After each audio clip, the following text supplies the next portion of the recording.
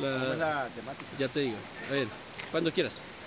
Mi nombre es Antonio Rollo y lo que espero es que haya compromisos reales y no hipócritas para que los bosques y los ríos los puedan disfrutar mis hijos y mis nietos y que esto continúe siendo un paraíso.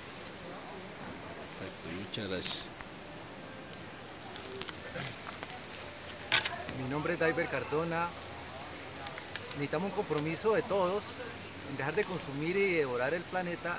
En lugar de eso debemos disfrutarlo y espero que en la conferencia realmente se lleguen a compromisos reales y no discursos bonitos. Hay que dejarle herencia a nuestros hijos y a nuestros nietos.